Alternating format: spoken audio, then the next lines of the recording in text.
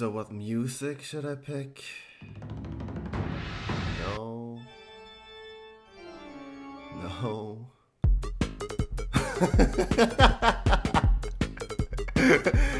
no.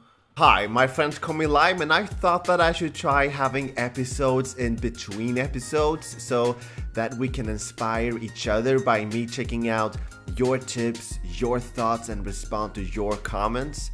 So, this is what you had to say about ethos. So, it seems like a lot of you liked the episode, and that is awesome. Thank you so much for your support. Now, I also want to clarify that if you just want to have fun uploading, not using any of these tips, then that is awesome too. Game Dynasty says that I'll be using these tips hints to review myself in the direction of my channel. Now, I'm very curious to see what you find out, so tell me that in the comments below. So, Ashley Silverdust says that this also kind of relates to why people with a lot of subscribers are more likely to get even more people subscribing.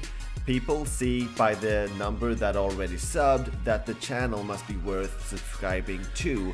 Now, that is an interesting perspective. I haven't really thought of that, but I completely agree. The Screaming Goat says that as soon as Lime threw his glasses, I thought he was going to drop mad beats. Do you want me to drop mad beats? Tell me in the comments, but no, I'm kidding, I'm not gonna do that. Or am I? Dealer4519 says, Well done, though I don't understand ethos fully, I will Google it. Great job on the video. Thank you very much. And then Twilight Prince says ethos, the disposition, character, or fundamental values peculiar to a specific person, people, culture, or movement. Smiley face. Now, ethos can actually have slightly different meanings depending on in what context you use it, and that probably just adds to the confusion. But not to worry, the only thing that you really need to take away from the definition, the way I use it, is that ethos is the way other people view you. Ryan Gamers says that, so he finally came on the screen. Where is my straw? First of all, are you referring to that you will be drinking the lime? If so, there will be no drinking any limes. And second of all, you saw this coming? Well, then thank you for believing in me.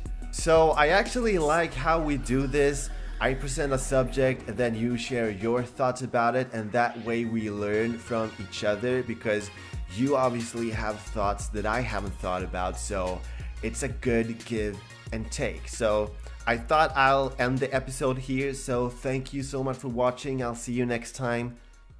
Bye.